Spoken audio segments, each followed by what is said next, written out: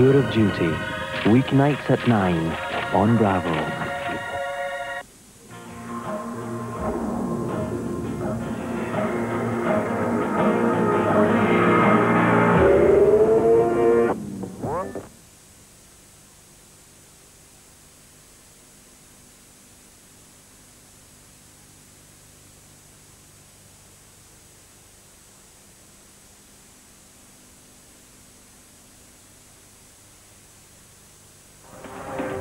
Coming up this morning on Europe Today, job vacancies at the European Central Bank, a chairman is still being sought.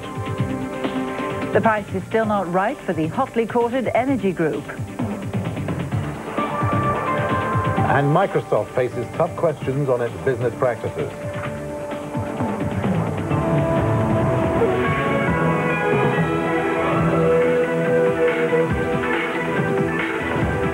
It's 7 o'clock Central European Time on Tuesday, the 3rd of March. Good morning.